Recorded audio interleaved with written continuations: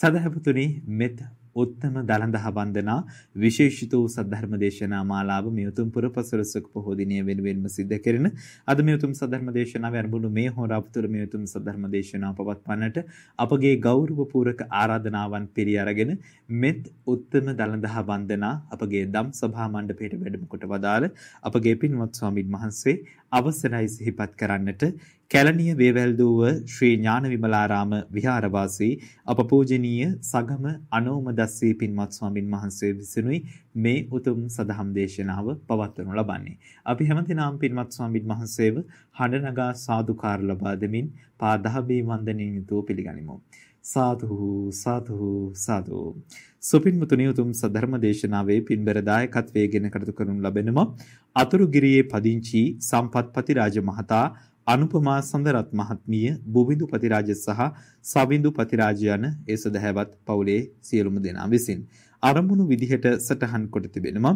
පවුලේ සියලුම දෙනාට සහෝදර සහෝදරියන්ට ඥාති දූ පුතුන්ට ඒ හැම දිනාටම නිදුක් නිරෝගී භාවය ප්‍රාර්ථනා කරන්නට බලාපොරොත්තු වෙනවා. පරලෝසපතු කේ කරුණාවතී පෙරේරා ආදරණීය මෑණියන්ටත් ඒ වගේම පියතිලක සඳරත් පියාණන්ටත් පුණ්‍යානුමෝදනාවන් සිදු කරන්නට බලාපොරොත්තු වෙනවා. සුජීවත්ව වාසය කරන බන්දුලපති රාජ පියාණන්ට සහ ලීලාවතී සේනානායක මෑණියන්ට නිදුක් නිරෝගී දීර්ඝාෂ ප්‍රාර්ථනා කරමින් පවුලේ සියලුම ඥාතීන්ට සෙත් ප්‍රාර්ථනා කරන්නට බලාපොරොත්තු වෙනවා. සියලුම පුණ්‍යානුමෝදනාවන් සියලුම ප්‍රාර්ථනාවන් එලෙසින්ම සාක්ෂාත් වේවායි කියලා ප්‍රාර්ථනා කරමු. උතුම් පුන් පොහෝදා මේ උතුම් සධර්ම දේශනාව හැම දිනාටම උතුම් ජීවිත හබෝදේ පිණිසම උපකාරක වේවායි ප්‍රාර්ථනා කරමු. මේ ප්‍රාර්ථනා සිද්ධාගෙන පින්වත් ස්වාමින් වහන්සේට අපි හඬනගා සාදුකාර ලබා දෙමින් ආරාධනා කරමු මේ උතුම් සද්ධර්ම දේශනාව පවත්වන්නට. මෙත්සිතින් පුන් පොහෝදා දම් අසන්නට ඔබටත් ආරාධනය. සාදු සාදු සාදු. අවසරයි අප පින්වත් ස්වාමින් වහන්සේ. සමන්ත චක්කවාලේසු අත්‍රා ගච්ඡන්තු දේවතා සද්දම්මං මුනි රාජස්ස සුනන්තු සග්ග මොක්කදං ධම්මස්සවන කාලෝ අයං බදන්තා ධම්මස්සවන කාලෝ අයං බදන්තා ධම්මස්සවන කාලෝ අයං බදන්තා නමෝ තස්ස භගවතෝ අරහතෝ සම්මා සම්බුද්දස්ස නමෝ තස්ස භගවතෝ අරහතෝ සම්මා සම්බුද්දස්ස නමෝ තස්ස භගවතෝ අරහතෝ සම්මා සම්බුද්දස්ස.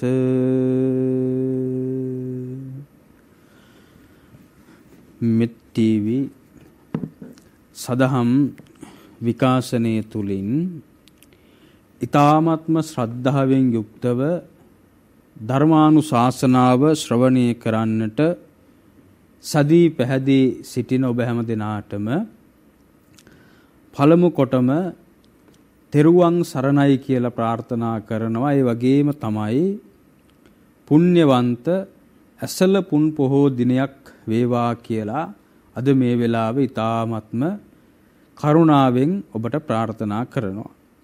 අද පින්වතුනි මේ මොහොතේ ඔබට ශ්‍රවණය කරන්නට ලැබෙන මේ ධර්මානුශාසනාවේ දායකත්වය අතුරුගිරිය පදිංචි සම්පත් පතිරාජ මහත්මයා අනූපමා අනූපමා සඳරත් මහත්මිය බුවිඳු පතිරාජ සහ සවිදු පතිරාජ පුතුන් දෙදෙනා ඇතුළු පවුලේ සියලුම සහෝදර සහෝදරියන් එම ඥාති දූ පුතුන් එකතු වෙලා සිද්ධ කරනු ලබන්නේ.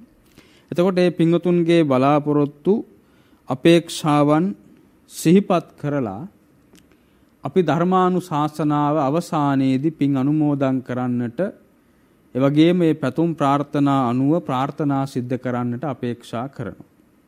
දැන් සූදානම් වෙන්නේ ධර්මානුශාසනාව ශ්‍රවණය කිරීම සඳහා බණ ඇසීම සඳහා. පිඟතුනි උදෑසන කාලේ ඉඳලා අද දවසේ පුරාවටම ඔබට මේ ඇසල පුන් පොහොය වැදගත් වෙන්නේ ඇයි? එව නැත්තම් මෙවන් පොහෝ දිනයක ඔබේ ජීවිතයට ලැබෙන ඒ උතුම් අවබෝධයේ කොයි වගේ එකක් වෙන්නට ඕනේද සහ මෙවන් පොහෝ දවසක් අපේ සාමාන්‍ය ජන ජීවිතයට වගේම ලෝකෝත්තර ජීවිතයට අධ්‍යාත්මික සුවයට භාවිතා කරන්නේ කොහොමද කියන එක පිළිබඳව ඔබ ශ්‍රවණය කරන්නට ඇති. ඒ වගේම තමයි අද පොහොය වැදගත්කම් ඔබ මේ වෙනකොටත් අතිශයින්ම ඊ타ත්ම මනවින් දැනුවත් වෙලා අවබෝධ කරගෙන ඇති. එනමුත් මම කල්පනා කරනවා ඔබත් එක්ක මේ වෙලාවේ සාකච්ඡා කරන්නට කතා කරන්නට අද දවසේ පොහොය වැදගත්කමක් මාතෘකා කරගෙන එය අපේ ජීවිතයට කොහොමද නූතනය තුලදී සහ එදිනදා ජීවිතය තුලදී ප්‍රායෝගිකව බද්ධ කරගන්නේ කොහොමද ඒවා අපේ ජීවිතයත් එක්ක සම්බන්ධ කරගන්නේ කොහොමද කියන කාරණේ සම්බන්ධව මම කතා කරන්නට ඔබත් එක්ක සාකච්ඡා කරන්නට මේ වෙලාවේ කල්පනා කරනවා. පින්වත්නි අපේ මහා බෝධිසත්වයන් වහන්සේ අද වගේ පොහෝ දිනයක තමයි උන්වහන්සේගේ මහා අභිනිෂ්ක්‍රමණය සිදු කරනු ලබන්නේ.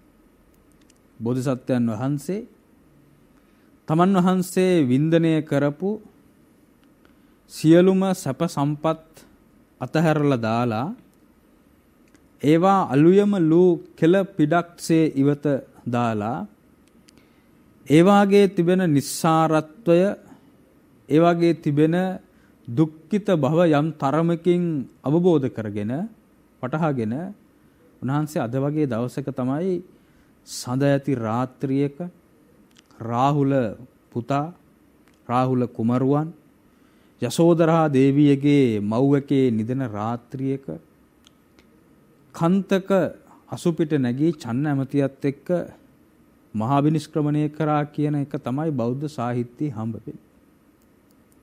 ඒක ඔබ දන්න එකක්. පින්වතුනි මේ අබිනිෂ්ක්‍රමණය කරන්නට කලින් මහා බෝධිසත්වයන් වහන්සේට සිද්ධාර්ථ කුමාරයාට සිදුහත් කුමාරයාට මේ අබිනිෂ්ක්‍රමණය සඳහා මූලාශ්‍ර වෙච්ච පාදක වෙච්ච මංපෙත් විවර වෙච්ච කරුණු ගණනාවක් බෞද්ධ සාහිත්‍යයේ ධර්ම ග්‍රන්ථවල සූත්‍ර පිටකයේ ආදී තැන්වල බොහෝ තැන්වල ගණනාවක් හම්බ වෙනවා. ඒකින් එකක් එක සිදුවීම් මාලාවක් තමයි උන්වහන්සේ සතර පෙර නිමිති දැකීම. සතර පෙර නිමිති මහල්ලෙක් ලෙඩෙක් මලමිනියක් ශ්‍රමණ රුවක් එහෙම නැත්නම් පැවිද්දෙක් මෙන්න මේ ධර්ම කාරණා හතර මේ ලෝකයේ තිබෙන ස්වභාවයන් හතර මේ දැකපු දර්ශන හතර එතුමානන්ට මේ සම්බුද්ධත්වයට පත්වීම පිණිස අබිනිෂ්ක්‍රමණය පිණිස ආසන්න සාධක විදිහට අපිට පෙන්වන්න පුළුවන්. ඊට අමතරව එතුමාට හිතේ බෝධිසත්වයන් වහන්සේට හිතේ ඇති වෙලා තිබුණ ගැටලුවක් තත්කාලීනව ඇති වෙච්ච යුද්ධ ඒ වගේම විවිධ සමාජ ගැටලු ප්‍රශ්න මේවත් බලපෑව බව සූත්‍ර පිටකයේ සූත්‍රවල හම්බ වෙනවා. ඒ නමුත් අපි බෞද්ධ සාහිත්‍යයට අනුව කතා කරොත් එහෙම මේ අපි දන්න කියන කාරණා උරුප්පලා අරගෙන කතා කරොත් ඒවා පිළිබඳව ඒවත් එක්ක ඉඳලා ධර්මානුශාසනාවේ කරුණු හොයලා බැලුවොත් එහෙම පිංගුතුනි මේ හතර පෙර නිමිති එහෙම නැත්නම් මහල්ලෙක් ලෙඩෙක් මලමිනියක් පැවිදුරුවක් කියන මේ කාරණා හතර දැකපුවාම අපි අහලා තියෙන්නේ බෝධිසත්වයන් වහන්සේට ජීවිතේ කලකිරුණා. කලකිරීමක් ඇති වුණා ජීවිතය ගැන. සැප ගැන, රජ සැප ගැන. සමහරලාට සසර කලකිරුණා කියලාත් කියනවා. කලකිරීමක් ඇති වෙච්ච මිනිස්සෙකුට බුදු වෙන්න පුළුවන්. එහෙම නැත්නම් කලකිරිච්ච මිනිස්සෙක් කරන්නේ බුද්ධත්වයේ පිනිස පිටත් වෙලා යන එකද? පින්වත්නි කලකිරීමේ උච්චතම අවස්ථාව දිගුකාලීනව කලකිරීමක් මිනිස්සෙගේ හිතේ පැවතෙන්න පැවතීම නිසා ඇතිවෙන රෝග තත්ත්වයක් තමයි මනෝවිද්‍යාවේ උගන්වන විෂාදය කියලා. විෂාදය ඇති වුනහම කෑම අරුචිකම් එනවා නිින්ද යන්නේ ඊට පස්සේ ප්‍රිය දේවල් අප්‍රිය විදිහට පේන්න පටන් ගන්නවා. ඊට පස්සේ තමන්ගේ හිත මිතුරන් සැකකරන්න තමන්ගේ දිනදා චර්යාවන් පවත්වාගෙන ආපු ඒ ක්‍රමවේදයට එහයින් ගිහිල්ලා පවත්තන්න මේ විෂාදය කියන රෝගය ඇති වුණාට පස්සේ මිනිස්සු කටයුතු කරනවා. නිින්ද යන්නේ නැහැ, කණ්ඩ හිතෙන්නේ නැහැ. ආදී කොට සාමාන්‍ය දිනදා චර්යාවන් හරි වෙනස් වෙනවා විෂාදය කියන මනෝ රෝගේ මනෝ ව්‍යාධි ඇති වුනහම ඒක මනෝවිද්‍යාවේ කියන්නේ එහෙමයි. ඒතකොට බෝධිසත්වයන් වහන්සේට මේ මහල්ලෙක් ලෙඩෙක් මලමිනියක් පැවිදිරුවක් කියන මේවා දැකලා කලකිරීමක් ඇති වුණා නම් එහෙම ඇතිවෙන්න බලපෑමක් ඇති වුණා නම් කලකිරීමක් ඇති වෙච්ච මිනිස්සෙක් Tamanට අප්‍රිය දෙයක් දැකලා අප්‍රිය දෙයක් සම්මුඛ වෙලා සරතසක් විඩාවක් දරන්න බැරි ස්වභාවයක් මනසට ඇවිල්ලා ඒ මිනිස්සයා විෂාදය හේතු කරගෙන බොහෝ තැන්වලදී කතා කරනවා. සමහරට ජීවිතය පවා නැති කරගන්න පුළුවන්. හැබැයි බෝසත්වෝ එහෙම වුණේ නැහැ ඇත්තටම බෝධිසත්වයන් වහන්සේට මේ සතර පෙර නිමිති දැකලා ඇති වුණේ එවැනි මනෝ රෝගයක් වැනි එකක්ද? එහෙම එකක් නෙවෙයි. කලකිරීමක් නෙවෙයි ඇත්තටම ඇති වුණේ.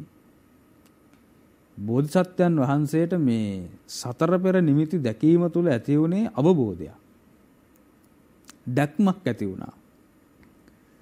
කලකිරෙන නම් බෝධිසත්වයන් වහන්සේ ගන්න තීරණ ඕවා නොවෙන්න පුළුවන්. අනිත් එක එහෙම කලකිරෙන්න තරම් ඒ ස්වභාවයන් හතර බලපවත්වන කාරණා හතරකුත් නෙවෙන නිසා මේ කාරණා හතර මහල්ලෙක් ලෙඩෙක් මලමිනියක් පැවිදි රුවක්. කියන මේ කාරණා හතර ක්‍රමක්‍රමයෙන් දැකපුවාම ඒවා කාලීනව දකින්නේ. දැන් මහල්ලෙක් දැකලා මාස 4ක් විතර ගියාට පස්සේ තමයි ඊට පස්සේ ලෙඩෙක් දකින්නේ. ලෙඩෙක් දැකලා මාස 4ක් විතර ගියාට පස්සේ තමයි මලමිනියක් දකින්නේ. ඒක දැකලා මාස 4ක් විතර ගියාට පස්සේ එහෙම නැත්නම් ඇසල පොහොය දවසක තමයි පැවිදි රූපයක් දකින්නේ. එක දවසේ දැකපුවා නෙවෙයි මේවා. කාලානුරූපීව ක්‍රමක්‍රමයෙන් ක්‍රමක්‍රමයෙන් ලෝක යථාර්ථයේ පෙන්නපු ලෝකේ හැටි පෙන්නපු ලෝකේ ඇත්ත පෙන්නපු දර්ශන හතරක්. ඒතර මේ දර්ශන හතර හතර දැකලා තමයි බෝසත්යන් වහන්සේ ආසන්න මූලාශ්‍ර වශයෙන් ආසන්නයේදී උන්වහන්සේ දා රාත්‍රියේ බෝසත්යන් වහන්සේ දා රාත්‍රියේ අබිනික්මන් කරනු ලබන්නේ. එතකොට මේ වෙලාවේ අපිට දැන් මේ කියන කාරණා හතර දැක්කට පස්සේ ජීවිත අවබෝධයක් ලබා ගන්නේ කොහොමද සහ මේවා තුල ජීවිතය ප්‍රගුණ කරන්නේ ජීවිතය දියුණු කරන්නේ ජීවිතයට මේ කාරණා හතර ඔස්සේ අපි යමක් එකතු කරගන්නේ කොහොමද කියන එක සම්බන්ධව මම කැමති ඔබත් එක්ක මේ වෙලාවේ කල්පනා කරන්න අද පොයට ඒක වැදගත් වෙන හින්දා. පින්වත්නි පළවෙනි කාරණය මොකද්ද? බෝසත්යන් වහන්සේ දැකපු මහල්ලෙක්. කුදු ගැහිච්ච සරයටයක් අතින් ගත්ත ඒ වගේම තමයි ඇඟ වෙවුලන මෙන්න මේ මහලු වේශයක් තියෙන පුද්ගලයෙක් පාරේ ගමන් කරනවා බෝසත්යන් වහන්සේ දැකලා තියෙනවා. දැන් අපි එහෙම ඒවා දකින්නේ නැද්ද? අපිට එහෙම ඒවා පේන්නේ නැද්ද? අපේ ගෙදර වයසක මිනිස්සු නැද්ද? අපි වයසට ගිහිල්ලත් නැද්ද? ඒ ඔක්කොම තියෙනවා. හැබැයි ඇයි අපිට අඩුම තරමින් අපි කියමුකෝ විෂාදයට යන්නේ නැතුව කලකිරීමක්වත් මේ මේ ජීවිතය පිළිබඳව මේ මොකද්ද කරන්න කියලා. එහෙම නැත්නම් යම් තරමක ලෞකික අවබෝධයක්වත් අපිට ඇති වෙන්නේ නැත්තේ ඇයි? පින්වත්නි ඒකට ප්‍රධාන හේතු ගණනාවක් තියෙනවා අපිට එහෙම හිතෙන්නේ නැති වෙන්න. බෝසත්යන් වහන්සේට බුදු වෙන්න තරම් මේ කාරණා බලපෑවනම් අපිට මහලු කෙනෙක් දැකවා දැක්කට පස්සේ අඩුම තරමින් සමත විදර්ශනා භාවනාවක්වත් වඩලා මේකෙන් මේ සසරින් නිදහස් වෙන්න ඕනේ කියලා හිතෙන්නේ නැති වෙන්න හේතු කනනාවක් තියෙනවා. පින්තුනි මහලු වීම පිළිබඳව භාග්‍යතුන් වහන්සේගේ දේශනාව තමයි ජරාවටපත් වීම, දිරනවා කියන එක, පරණ වෙනවා කියන එක, කල් ඉක්ුත් වෙනවා කියන එක තමයි භාග්‍යතුන් වහන්සේගේ දේශනාව ජරාවටපත් වීම සම්බන්ධව. ඒක නැත්තම් මහලු වීම සම්බන්ධව. ඒකට කියනවා ජරාපි දුක්ඛ. ජරාවටපත් වීම දුකක් කියලානේ කියන්නේ. පින්වත්නි ජරාවටපත් වීම මිනිස්සෙක්ගේ ආරම්භ වෙන්නේ කොහොමද? මෙන්න මෙහෙම ප්‍රශ්නයක් ඇහුවොත් ඔබ ගෙදර ඉඳලා මේ රූපවාහිනී තිරේ ඉස්සරහා ඉඳලා ඔබ දුරකථනයෙන් නම් නරඹන්නේ මේ ධර්මදේශනාව දුරකථන ඉස්සරහා ඉඳලා මෙන්න මේකට උත්තර හොයාගන්න ඕන. පින්වත්නි යම්කිසි ගහක මලක් පිපෙනවා ඒ මාසේ පළවෙනිදා. අපි කියමුකෝ මේ ගෙවෙන්නේ ඇසල මාසෙනේ. ඇසල මාසේ පළවෙනිදා ඒ ගහේ මලක් පිපෙනවා. ඒ මල අපි දකිනවා අපිට දකින්න ලැබෙනවා බිමට වැටිලා පර වෙලා බිමට වැටිලා තියෙනවා අර විකසිත වෙලා තිබ්බ සුවඳ දුන්නු මල ඒ මාසේ 30 වෙනිදා බිමට වැටිලා පර වෙලා යමින් තියෙනවා අපිට දකින්න ලැබෙනවා. බිමට වැටිලා. පළවෙනිදා තමයි ඕක අපි ඉස්සරෝම දකින්නේ. ලස්සන පොහොට්ටුවකින් එළියට එනවා. හැබැයි මාසයක් තිබිලා තියෙනවා මේ මල. ඒක 30 වෙනිදා බිමට වැටිලා. අපේ පයටම පෑගෙනවා. මං අහන ප්‍රශ්නේ මේ මල පරවෙන්න පටන් ගත්තේ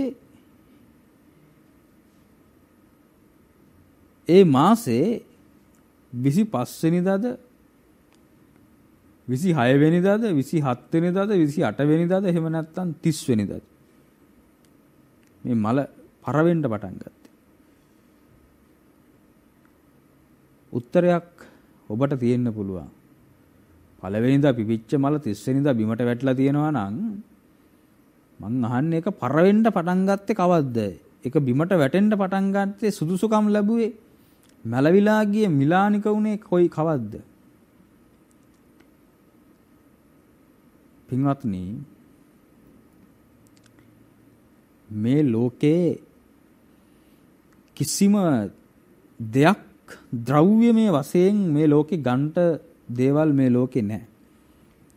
ද්‍රව්‍ය මේ ලෝකේ නැහැ. මේ මේසය ද්‍රව්‍යයක් නොවේ. මේ පුටුව ද්‍රව්‍යයක් නොවේ අපි ද්‍රව්‍ය කියලා ඉගෙන ගත්තට. මේවා ඔක්කොම ක්‍රියාවන්. මේවට තියෙනවා ක්‍රියා සම්තතියක්. රූප කලාප එකතු කරමින් රූප කලාප විනාශ වෙමින් නැවත රූප කලාප ඇති කරගනිමින් අටවිසි රූපයන් පිළිබඳව අභිධර්ම ඉගෙන ගද්දී ඔබ දැනගෙන තියෙනවා. මේ රූප කලාපවල ස්වභාවය තමයි නිතරම ක්‍රියාවේ ක්‍රියාත්මක වෙනවා. එක විදිහකට තියෙන්නේ ඒක ඉතින් සරලව කියන උත්පාද තිති භංග කියලා ස්වභාවයක් තියෙනවා කියලා. කෙසේ නමුත් මේ ලෝකේ සියලුම දේවල් වල තියෙන්නේ ක්‍රියාවක් පමණයි ද්‍රව්‍ය නැහැ. මලටත් ඒක වෙලා තියෙන්නේ. මල පරවෙන්න පටන් ගත්තේ මල පර වෙලා යන්න පටන් ගත්තේ මල වියපත් වෙන්න පටන් ගත්තේ පළවෙනිදා පිවිච්ච මල පළවෙනිදම තමයි. ඒ ක්‍රියාවලිය අවසාන ප්‍රතිඵලය තමයි අවසානට අපි 30 වෙනිදා දකින්නේ. එහෙම නැත්නම් මල පර වෙන්න පටන් ගත්තේ 25 වෙනිදාවත් 26 වෙනිදාවත් 27 වෙනිදාවත් 28 වෙනිදාවත් 29 වෙනිදාවත් නෙවෙයි. අඩුම තරමින් 30 වෙනිදාවත් නෙවෙයි. පළවෙනිදාම තමයි. එදා තමයි ඒක පරවීමේ ආරම්භය සනිටුහන් වෙන්නේ. අපේ ජීවිතෙත් මහලු වීම කියන එක එහෙමයි පින්නත්. වයසට යන්නේක ඒකත් එහෙමයි. පුංචි කලලයක් විදිහට විඥානයකින් බැසගෙන විඥානයක් බැසගෙන මව් කුසත් තුළ වර්ධනය වෙලා මාස 8ක් 9ක් 10කට ආසන්නව 10ක් හෝ වැඩිලා වර්ධනය වෙලා ඒකේ ප්‍රතිඵල දියුණු වෙමින් ආවට පස්සේ වයසට යෑම ජරාවටපත් වීම කියන ස්වභාවය එදා ඉඳලම හටගත්ත දවසේ ඉඳලම සිද්ධ වෙන එකක් වයසට යනවා කියන එක ජරාවටපත් වෙනවා කියන එක. පින්වත්නි මේ ජරාවටපත් වෙනවා කියන එක ඒක බෝධිසත්වයන් වහන්සේ දා මහලු කෙනෙකුගේ වේශයෙන් දකිනකොට ඒක අපි තුලින් අපිට දකින්න පුළුවන්. අපිට මේ තියෙන පැහැරි සමාජයෙන් බාහිර සමාජය තුල මේවා ඔක්කොම තියෙනවා. හැබැයි අපි නුවණින් මේක පරීක්ෂා කරන්න කැමති නැත්තේ අපි වයසට යනවට කැමති නෑ සහ බයයි. ඒ සම්බන්ධව අපිට තියෙන ලොකු දුකක්. දැන් ඒකනේ දැන් ඔය වයසට යනකොට වියපත් වෙනකොට සමහර මිනිස්සුන්ගේ කෙස් ටික දැන් මේ අපේ ආසියානු රටවල් වල නම් අපේ රටවල් වල වියපත් වෙනවා කියන එකේ සංකේතයක්නේ කලුවට වැවිච්ච කෙස් ටික කොණ්ඩේ සුදු පැහැවෙනවා ඉදෙනවා කියලා කියන්නේ. හැබැයි දැන් බොහෝ වෙලාවට හොයලා බලවහම මිනිසුන්ගේ වයසට යන්න යන්න කෙස් ටික සුදු වෙනවා නෙවෙයි කළු වෙනවා. ඒ කියන්නේ ඒකට බයයි. ඒ බය ඇයි? බයට හේතුව තමයි තමා තුලින් සහ සමාජය තුලින් තමාට ලබා දෙන පණිවිඩය තමාට ලබලා දෙන බලපෑම එච්චරම අපි කැමති එකක් නොවෙන නිසා. ඒකට අපි කැමති නෑ. මොකක්ද දන්නවද? දැන් ඉස්සරවම කල්පනා කරලා බලන්න ඊයේ කෙහෙක් මේ කෙස් ගහක් දෙකක් ඉදිලා තියෙන දවසක ඉදුණාට පස්සේ එහෙම නැත්තම් සුදු වුණාට පස්සේ එක කෙස් ගහක් ඉදිච්ච දවස මතක් කරලා බලන්න ගෙදර අයටත් හොරෙන් තමන්ටත් හොරෙන් හැමෝටම හොරෙන් අර ඉදිලා තියෙන කෙස් ගහ වහං කරගෙන ගිහිල්ලා කණ්ණාඩිය ගාවට ඉස්සරලාම ගිහිල්ලා කවුරුත් දකින්න ඉස්සරලා බොහෝ දෙනෙක් කරන දේ තමයි අර ඉදිච්ච සුදු වෙච්ච කෙස් ගහ ගලවලා දාන එක. ඒ ඇයි? දකින්න අය ප්‍රශ්න අහනවනේ. මොනවද අහන ප්‍රශ්න? දැන් කෙස් එහෙමත් ඉදිලා නේද? පැහිලා නේද? දැන් වයස කීයක් විතර වෙනවද? ඔයාට පීනිසෙටද කෙස් ඉදෙන්නේ? පරම්පරාවෙනුත් එහෙමද? අම්මගෙත් ওই කාලෙට ඔහම කෙස් ඉදුණද? තාත්තගේ තාම කළුයි නේද? ඔයාගේ විතරක් සුදු වෙලා තියෙන්නේ ඇයි? ඔයා මොනවද පාවිච්චි කරන සබන්? ප්‍රශ්න ගණනාවක් අහනවා අපේ කොණ්ඩේ. අපේ කෙස් ටික සුදු වෙලා පැහිලා එකක් දෙකක් හරි තියෙනවා දැක්කාම අපිට වැඩි අපේ කෙස් පිළිබඳව ප්‍රශ්න තියෙන අනිත් අයට. මේ ප්‍රශ්නේ අහන්නේ මේ සත්‍යවාදීවම කෙස් පැහිලා තියෙනවා නෙවෙයි. එහෙම නැත්නම් කෙස් පැහිලාද කියලා නෙවෙයි කියලා අපි දන්නවා. කනට ගැහුවට වැඩිය පිහියෙන් යන්නට වැඩිය රිදෙනවා. ඒ හින්දා මොකද දන්නවද කරන්නේ? ඒ හින්දා ඒ අභියෝගයට මුහුණ දෙන්න සම්පූර්ණයෙන්ම කෙස් ටික කළු කරලා දානවා. ඒකනේ වයසට යන්න වයසට යන්න කෙස් සුදු වෙනවාට වැඩිය කළු වෙන්නේ. හැබැයි අපි අහලා තියෙනව නේද කතාවක් එක රජ කෙනෙක් කර්ණවැමියා විසින් තමාගේ කෙස් ගහක් සුදු වූ බව ඉදිලා තියෙන බව දැන්නූ සැනින් ඒ රජතුමා රාජ්‍යත් අතහැරලා භාවනා කරන්න ගියා කියලා. නෑ මම කියන්නේ කෙස් ගහක් ඉදිච්ච ගමන් වනගත වෙන්නවත් සැප සම්පත් අතහැරලා දාලා යන්නවත් නෙවෙයි. අපිට තේරීමක් තියෙන්නට ඕන වැටහීමක් තියෙන්නට ඕන අවබෝධයක් තියෙන්නට ඕන මිනිස්සු කියන්නේ ලෝකේ ස්වභාවය කියන්නේ ජරාවටපත් වීම කියන එක එහෙම නැත්නම් අපිට මේ වෙනස්කම් දරා ගන්න බැරි වෙන තැනක් එනවා ජීවිතේ. මේ වෙනස්කම දරන්න පුළුවන් මානසිකත්වයක් හදා ගන්නට ඕන ගොඩනගා ගන්න ඕන. ඒක දරා ගන්න බැරි වුණොත් ඒක හරි අමාරුවක් හිතට. ඒ දරා ගැනීමේ වේගය දිනු කර ගන්නට ඕන. ඒ කෙස් දෙවැනි එක. දෙවැනි එක තමයි මේ මහලු වීමේ ජරාවටපත් වීමේ ස්වභාවය හඳුන්ව ගන්න තව එක විදිහක් තියෙනවා.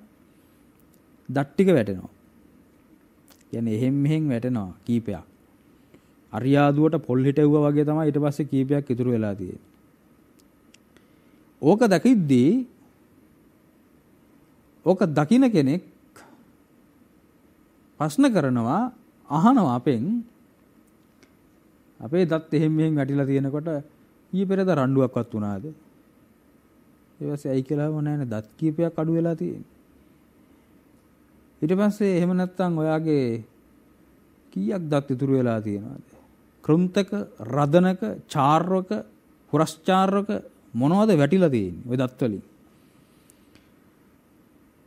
දැන් කැඳ හදලාද බොන්නේ? අපේ කටේ තියෙන දත් සම්බන්ධව අපිට වැඩි ප්‍රශ්න තියෙන්නේ අනිත් මිනිසුන්ට. ඉතින් අපිටත් මේක හරි පීඩාවක්. කණ්ණාඩිය ගාවට ගිහිල්ලා කැඩපත ගාවට ගිහිල්ලා බලපුවාම කට ඇරලා අපිටම තේරෙනවා මේකේ පොඩි අවුලක් තියෙනවා කියලා. ඒ හින්දා මොකද කරන්නේ? තියෙන දෙක තුනක් ඉතුරු වෙලා තියෙනවා නම් සමස්තේ උදුරලා දාලා ගලවලා දාලා දානවා රබර් වලින් හරි ප්ලාස්ටික් වලින් හරි දත්. මං කියන්නේ රබර් ප්ලාස්ටික් දත් දාන්න එපා කියලා නෙවෙයි. දාන්න එපා කියලා නෙවෙයි කියන්නේ. මොකද මේ බනහන අයගෙත් මං දන්නවා බොහෝ ප්‍රමාණයක් කට ඇතුලේ රබර් වල ප්ලාස්ටිකුයි තියෙනවායි කියලා. මං කියන්නේ දාන්න එපා කියලා නෙවෙයි. අපි කොච්චර බයයිද වයසට යනවට. අර අහන ප්‍රශ්න හරියට කනට ගහනවා වගේ. ඊට පස්සේ ඒ දත් ටික කොහොමද අපි පරිස්සම් කරන්නේ? අර කලින් තිබ්බ දත් පරිස්සම් කරාට වැඩිය අපි පරිස්සම් කරනවා ඒ දාපු රබර් වලින් දාපු දත් ටික. මොකද ගලවලා කොහෙන් හරි ගලවන්න පුළුවන් ටිකක් නම් දාලා තියෙන්නේ ගලවලා කොහෙවත් තියන්න බෑ. ඇයි? බල්ලෙකුට පූසෙකුට අහුනොත් උන් උස්සන් යනවා. වීදුරුවකට දාලා වහලා තිබුණේ නැත්නම් හරියට කප් එකකට දාලා වහලා තිබුණ නැත්නම් කැරපොත්තෝයි හූනෝයි ඇවිල්ලා ගජ රාමයට පාටි දානවා. ලෙව කනවා. ඉඳ පරිස්සම් කරන්න ඕන. මේ පරිස්සම කියන එක සිද්ධ කරන්නේ ජරාවට පත්වීම රැකගන්න ගිහිල්ලා ඒකට මුක්කු ගහන්න ගිහිල්ලා ඒ දිරණ ශරීරයට මුක්කුවක් ගහන්න ගිහිල්ලා නෙවෙයිද මේ මහා දුක් ගොඩක් ඉදින්නේ. පින්වත්නි ඒක තමයි ජීවිතයේ තියෙන හැටි. මේක වෙනස් කරන්න බෑ. ප්ලාස්ටික් වලින් දත් දැම්මත් අපි වයසට යනවා. තාර ඔළුවේ ගෑවත් වයසට යන එක වළක්වන්න බෑ. වළක්වන්න බෑ. ඊට පස්සේ හැම රැලි වැටෙනවා. කියන්නේ බොහොම සිව්මැලිව කාන්තිමත්ව තියෙන බබලන ප්‍රභාස්වර ගතියෙන් තියෙන දිස්නේ දෙන තව ඕන තරම් කියන්න පුළුවන් වර්ණනා කරලා බොහොම ලස්සනට තියෙන චවි කල්යාණී හැම හැම ඒකත් රැලි වැටෙනවා. ඉතින් හැම රැලි වැටෙන එකත් හරි ප්‍රශ්නයක්. එකකින් වයස පේනවා. අර පුෂ්ටිමත් ගතියට, කාන්තිමත් ගතියට තිබුණු ස්වභාවය වැහිරිලා යනකොට රැලි වැටෙනකොට තනින් තන ඒක Tamanට දරන්නත් බෑ සහ අනිත් අය ඒක දිහා බලලා මූණ අකුලුවා ගන්න විදිහ බලානින්ටත් බෑ සමහරුන්ට. එහෙම හිතනවා. මං විදිහ දිහා බලලා මගේ හැම රැලි වැටිලා හින්දා මෙහෙම හිතනවා ඇති කියලා. ඉතින් ඒවට ප්‍රතිකර්ම තියෙනවානේ. ප්‍රතිකර්ම තමයි පත්තරවල සහ මේ පොයේ දවසෙත් රූපවාහිනී ගුවන්විදුලි නාලිකාවල මාධ්‍යවල තියෙනවා දැන්වීම් ඔබේ සම අකලට වියලී ගොස් ඇද්ද? ඔබේ සම රැලි වැටි ඇද්ද? ඔබට නව තාරුණ්‍ය පෙනුමක් ලබා ගැනීම සඳහා අපේ ආලේපනය අරගෙන පාවිච්චි කරන්න ප්‍රතිඵල ලැබුණේ නැත්නම් මුතල්ද ආපසු ගෙවනු ලැබේ. ඉතින් ඒ ඒව ගාන මිනිස්සු ඒකේ ප්‍රතිඵල අරගෙන මේ අය මුදල් ගන්නට අය පස්සේ ඉන්නේ මැරිලා යනවනේ. මොකද අවුරුදු 50ක් විතර පැනපුවාම 60ක් විතර පැනපුවාම මේවා ගාන්න පටන් ගන්න. ඉතින් එහාට ජීවිතේ පැවතින්නේ නැහනේ. ඉතින් මුදල් ගන්න මිනිස්සෙක් ඉතුරු වෙන්නේ නැහැ මැරිලා ගිහිල්ලා. ගානවා නෑ මං කියන්නේ ගාන්න එපා කියලා නෙවෙයි. ගෑවට කමක් නෑ. ඇත්ත කතාව තමයි ලෝකේ හැම දෙයක්ම ඒ විදිහට ජරා දුකට වයසට යෑමට මේ ලෝකේ හැම දෙයක්ම පත් වෙනවා කියන එක අපිට තේරුම් ගන්න ඕන. තේරෙන්න ඕන පින්වත්නි. ඒක මිනිස්සුන්ට විතරක් නෙවෙයි. ඒක පොල් ගහක හැදෙන පොල් ගෙඩියටත් ස්වභාවයක්. පොල් ගෙඩියේ කුරුම්බ ඇට්ටිය පොල් මල කුරුම්බ ඇට්ටිය කලටි පොල් ඊට පස්සේ වේලිච්ච පොල් ඊට පස්සේ කොප්පරා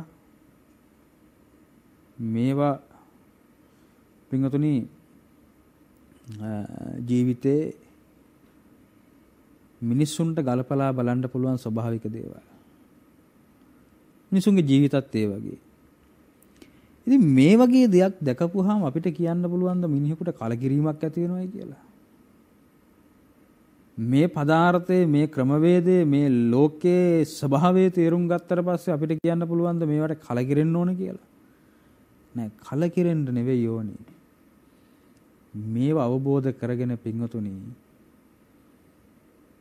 තේරුම් ගන්නට ඕන මිනිස්සු වගේම ලෝකේ හටගත්ත යම් දෙයක් ඇද්ද එය විනාශ වී යාමට කල්ලිකුත් වීමට ජරාවටපත් වීමට ලක්වීම ලෝකේ හැටි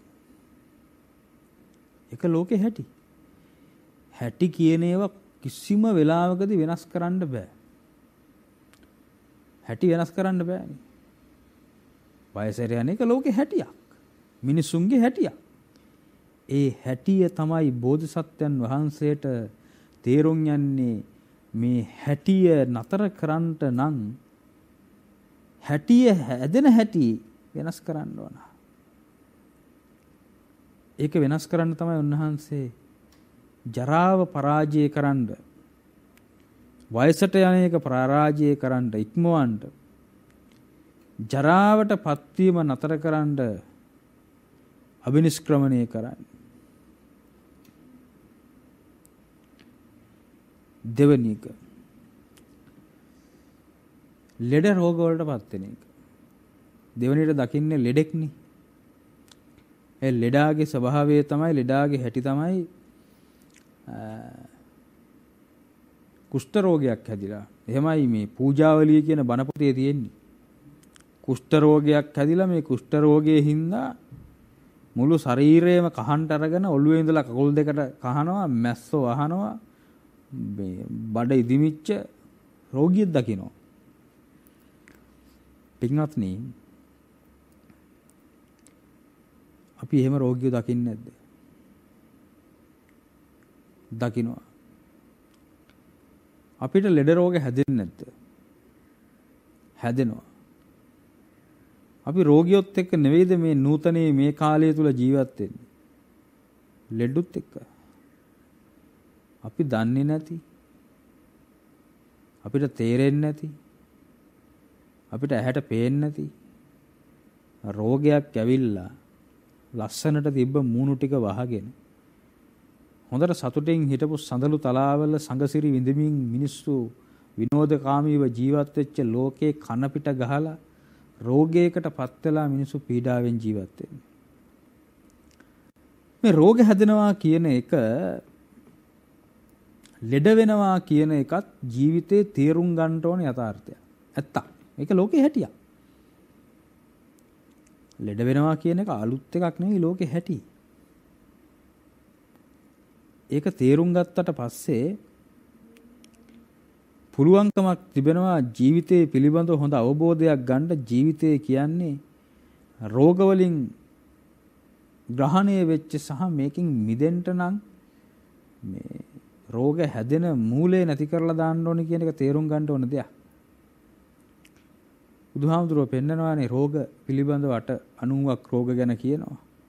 චක්කු රෝගෝ, සෝත රෝගෝ, ගහන රෝගෝ, ජීවා රෝගෝ, කාසෝ සාසෝ පිනාසෝ, ඩහෝ ජරෝ කුච්චි රෝගෝ, මුච්චා පක්කන්දිකා, සූලා විසූචිකා ආදී කොට ගත්ත රෝගාබාධ ලෙඩ ගැන බුදුහාමුදුරුවෝ කතා කරනවා මේ ශරීරයේ හැම අංගයකටම ලෙඩක් තියෙනවා. චක්කු රෝග, ඇස් රෝග, ඇස් ලෙඩ කීයක් දැන් හොයාගෙන තියෙනවද? ඇහි විතරක් ඇති වෙන රෝග. සෝත රෝගෝ කනේ ලෙඩ ඒ ආදී කොටගත් මේ සිරසේ සිට දෙපතුළු දෙක් මේ පුංචි ශරීරයේ තුල කොච්චර ලෙඩ රෝග තියෙනවද මිනිස්සුන්ට ලෙඩ නැති කෙනෙක් ඉන්නවද නැහැ භාගතුන් වහන්සේ පෙන්නනවා අඩුම තරමින් කායික රෝග නැතිව අවුරුදු 100ක් 1000ක් ලක්ෂයක් ජීවත් වෙන්න පුළුවන්. කායික රෝග නැතුව. අපි එහෙම පුළුවන් කියලා උපකල්පනය කළත් මානසික රෝගයක් නැතුව මේ ලෝකේ කිසිම කෙනෙකුට ජීවත් වෙන්න බෑ එක තප්පරයක්වත්. මොකක් හරි මනෝ ව්‍යාධියකින් පෙළෙනවා මනෝ රෝගයකින් පෙළෙනවා මොකක් හරි මානසික ගැටලුවක් තියෙනවා එක්ක තණ්හාව හින්දා ප්‍රශ්නයක ඉන්නවා තණ්හාව නැත්තම් දේශයක් නිසා මොකක් හරි ඇවිලෙනවා මොකක් හරි එක්ක. දේශයක් නැත්තම් මෝහයෙන් හින්දා මොකක් හරි ඇවිලිල්ලක තමයි ජීවත් වෙන්නේ. ඉතින් ඒක තමයි ස්වභාවය. මෙන්න මේ ස්වභාවික ලක්ෂණය මෙන්න මේ කාරණය වටහා ගන්නට තේරුම් ගන්නට මේ රෝගාබාධ වලටපත් වෙන්න අපිට සිද්ධ වෙනවා කියන එක තේරුම් ගන්නට අවශ්‍ය හින්දා තමයි බුදුහාමුදුරුවෝ දේශනා කරේ ජරාපි දුක්ඛ ව්‍යාධිපි දුක්ඛ. ව්‍යාධි වලට පත් වෙන එක දුකක්. ලෙඩ වලින් බේරිලා ඉන්න බෑ. අපහසුයි. රෝගාබාධ අපි හැම වෙලේම අපි පුරාම මේක රෝග නිඩ්ඩම් පබංගුරන් කියලා කියන්නේ ශරීරයේ රෝගයට නිදන් වෙච්ච රෝග නැමැති බිජු දාන තැනක්. රෝග නිස්පාදනය කරන ආයතනයක් ශරීරයේ. ඒ නිසා ඒක තේරුම් ගත්තට පස්සේ ලෙඩක් දුකක් හැදුනහම අසනීපයක් හැදුනහම යම්කිසි රෝග බාධයක් හැදුනහම මේක මට විතරක් හැදිච්ච එකක් මටමයි වෙන්නේ. ලෙඩ වෙන්නේ අපිටමයි කියලා හිතන්නේ නැතුව ලෝකේ යථාර්ථය කියලා හිතලා හිත හදා ගන්න පුළුවන් මානසිකත්වයක් ගොඩනගා ගන්න පුළුවන් පින්වත්නි මේ රෝගාබාධ හැදෙන එක සම්බන්ධව අපිට දැනුමක් තියෙනකොට අවබෝධය විවිධිර තියෙනකොට. අනිත් එක තමයි ලෙඩ රෝග වලින් ගැලවෙන්න විදිහක් නැති බව. එකකින් ගැලවෙන්න බෑ. තුන්වෙනි කාරණේ තමයි දැකපු මරණය. මරණය මලසිරුරක් උස්සන් යන එකක්. පිඟුතුනි ඔබයි මමයි අපි හැමෝමයි මලගෙවල් කීයකට ගිහිල්ලා ඇද්ද මේ ජීවිතය තුළ මලගෙවල් කීයක් අපිට දකින්න ලැබිලා ඇද්ද මේ ජීවිතය? තුළ අපිට පින්වතුනි මරණානුස්සතිය වැඩිලා තියෙනවද ඒක තැනකදීවත්? වැඩෙන්නේ නැහැ. මොකද අපිට අපි ගලපලා බලන්නේ නැහැ මල සිරුර අධ්‍යා බලනකොට. මේ මල සිරුර වගේ තමයි මගේ ජීවිතෙත් කවදා හරි සයනය කරන්න සිද්ධ වෙන්නේ කියලා අපි හිතන්නේ බලන්න මේ මල සිරුර අධ්‍යා බලනකොට මිනි පෙට්ටියක නිදාගෙන ඉන්න කෙනා අපි වගේම හොඳට සෙන්ට් පවුඩර් සුවඳවත් જાති පාවිච්චි කරපු කෙනෙක්. අන්තිමට ඒ මිනිස්සයාට ගහන්න වෙලා තියෙන ඉන්ජෙක්ෂන් එකක් නැත්තම් පෝමලි. ඒ වගේම 20 30000ක 40000ක 50000ක ඇඳගෙන ඉදිය ගත්ත මිනිහෙක් උදියගෙන තියෙන්නේ පිදුරු දාපු පෙට්ටියක. හොඳට අතපය දිගාරලා නිදාගෙන හිටපු ගමන් කරපු මිනිස්සයා අද්දක බැඳලා නිදි. ලංකාවේ ලෝකේ තියෙන හොඳම රෙදි කඩේ වලින් රෙදි ඇදගෙන මහගත්ත ඇඳගත්ත මිනිස්සයා පිට කපපු ඇඳුමක් ඇඳගෙන ඉන්නේ. එහෙම බලද්දී බෝසත්තානන් වහන්සේට මේ මලසිරුරක් දිහා බලලත් කලකිරීමක් නෙවෙයි අවබෝධයක් ඇති වුණේ ජීවිතේ මාත් මැරෙන කෙනෙක්. හැබැයි මරණය පරාජය කරන්න පුළුවන්. ඒකට පිළියමක් තියෙනවා හතරවෙනි කාරණය මොකද්ද? ශ්‍රමණ වේශයෙන් ශ්‍රමණියෙක් විදිහට පැවිද්දෙක් විදිහට සත්‍ය ගවේෂණය කිරීම. ඒ ඔස්සේ තමයි කිං කුසල ගවේෂී කියලා මගට අවතීර්ණ වෙලා අපේ බෝධිසත්වයෝ අද වැනි දවසක අබිනිෂ්ක්‍රමණය කරලා වෙසක් පොහොයි දවසක උතුම් සම්බුද්ධත්වයට පත් වෙන්නේ මේ ලෝක යථාර්ථයේ පදාර්ථය අවබෝධ කරගන්න. එයින් පසුවයි පළවෙනි දහම් දෙසුම දම්සක් පැවතුම් සූත්‍රයේදී ලෝකයට දුක්ඛ ආර්ය සත්‍ය විදිහට ඔය ජාතිය ජරාව ව්‍යාධි මරණ නැති කරන හැටි පෙන්වන්නේ. ඒ නිසා ඔබ හැම දිනාටමත් එම අවබෝධයට පත්වීම උදෙසා එම නුවණ දියුණු කර ගැනීම උදෙසා මේ ධර්මානුශාසනාව හේතුවක් වාසනාවක්ම වෙත්වා කියලා ප්‍රාර්ථනා කරලා දැන් අපි ඒ දායකත්වයේ සපයපු පින්වතුන්ට පින් අනුමෝදන් කරන්න බලාපොරොත්තු වෙනවා. අද ධර්මානුශාසනාවට දායකත්වයේ සපයන්නේ අතුරුගිරියේ පදිංචි සම්පත් පතිරාජ මහත්මයා අනූපමා සඳරත් මහත්මිය බුවිදු පතිරාජ සහ සවිදු පතිරාජ පුතුන් දෙදෙනා ඇතුළු පවුලේ සියලුම සහෝදර සහෝදරියන් එම ඥාති දූපුතුන්ට උතුම් වූ නිර්වාණ බෝධිය පිණිස මේ ධර්ම දානමය පින්කම හේතු වේවා කියන බලාපොරොත්තුවෙන් පවත්වන්. තවද පරලෝ සපත් කේ කරුණාවතී පෙරේරා මෑණියන් සහ පියතිලක සඳරත් පියතුමාට පින් අනුමෝදන් කිරීම සහ සුජීවත්ව සිටින වාසය කරන බන්දුල පතිරාජ පියතුමා ලීලාවතී සේනානායක මෑණියන් ඇතුළු හැමදෙනාටම නිදුක් නිරෝගී සුවය ප්‍රාර්ථනා කරමින් සිද්ධ කරපු පින්කම. ඒ නිසා මේ වෙලාවේ දායකත්වයේ සපයපු හැමදෙනා නමින් මිය ගිය සැමටත් බණ අහපු ඔබ නමින් මිය ගිය සැමටත් මේ පින් අත්පත් වේවා පින් අනුමෝදන් වෙලා ඒ සියල්ලෝ නිවනින් නිවෙත්වා කියලා ප්‍රාර්ථනා කරන්නට ඕන. ඒ වගේම තමයි සුජීවත්ව වාසය කරන ධර්මයේ ශ්‍රවණය කරපු හැම දිනාටමත් ඒ වගේම මේ මාධ්‍ය ජාලයේ අධීක්ෂණය කරමින් මඟ පෙන්වීම කරමින් මේ නිර්මාතෘවරයන් වහන්සේ විදිහට කටයුතු කරන අතිපූජනීය ගලිගමුවේ ඥානදීප මහා ස්වාමින්ද්‍රයන් වහන්සේටත් බණ අහපු ඔබටත් ලෝක සත්‍යයටත් එකම ධර්ම මණ්ඩපයකදී එක බණපදයක් ඇහෙන වෙලාවක එකම සාදු නාදයක් මැද්දේ එකට නිවන් දකින්න. මේ පින්කම හේතු වාසනාම වෙත්වා කියලා ප්‍රාර්ථනා කරලා දෙවියන්ට පින් අනුමෝදන් කරමු. ආකාසට්ඨාච බුම්මට්ඨා දේවානාගා මහිද්దికා පුඤ්ඤන්තං අනුමෝදිත්වා චිරං රක්칸තු ශාසනං චිරං රක්칸තු දේශනං චිරං රක්칸තු මං පරන්ති ධර්ම දේශනාව ශ්‍රවණය කරපු හැම දිනාටම පුණ්‍යවන්ත පොහෝ දිනයක් වේවා. සම්මා සම්බුදු සරණයි.